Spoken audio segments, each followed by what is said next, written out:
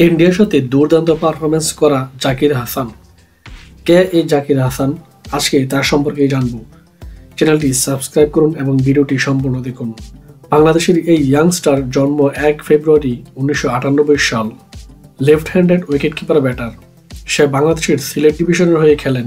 Zakir Hasan domestic career Zakir first class cricket debut হয় দুই হাজার পনেরো সালে সেপ্টেম্বরে। সে দুই হাজার ষোলো সালে বাংলাদেশের আন্ডার নাইনটিন ওয়ার্ল্ড কাপে নাম লিখান। জাকির চট্টগ্রাম বাইকিংসের হয়ে ষোলো সতেরো সালে বাংলাদেশে প্রিমিয়াম লিগ ডেবিউট করেন।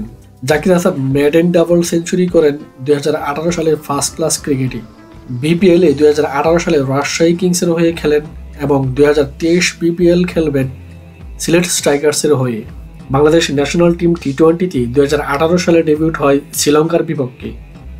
তারপর আর জাতীয় দলে হয়ে নিয়মিত খেলা হয়নি তার। তবে তার জন্য সবচেয়ে বড় সুযোগ আসে দুই হাজার বাইশ সালে ইন্ডিয়ার বিপক্ষে। চতুর্থ বাংলাদেশি হিসেবে করে ফেলেন অভিষেক ম্যাচে সেঞ্চুরি। সেঞ্চুরি করে আলোড়ন সৃষ্টি করেন। এই সিরিজে তামিমের অনুপস্থিতির সুযোগ পায় জাকির। সেই সুযোগটা লুফে নেয় তিনি।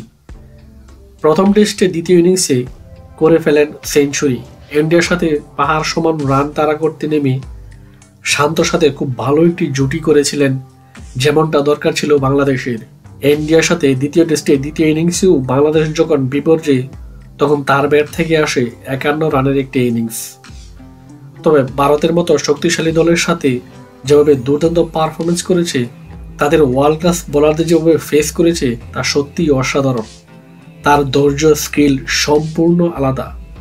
সাতবান জয়ের পর টপ অর্ডারের জন্য আরও একজন ব্যাটার হিসেবে নিজেকে প্রমাণ করেছেন জাকির হাসান। তিনি এনডিএর সাথে দুই টেস্টে চার ইনিংসে ব্যাটিং করার সুযোগ পায় এবং এক ইনিংসে সর্বনিম্ন বল ফেস করেন চৌত্রিশ এবং পুরো সিরিজে চারশো আটত্রিশ, যা এই সিরিজে সর্বোচ্চ। তবে তিনি যে বাংলাদেশের অন্যতম একজন টেস্ট ব্যাটার হবেন, তার প্রমাণ দিয়েছেন জাকির হাসান।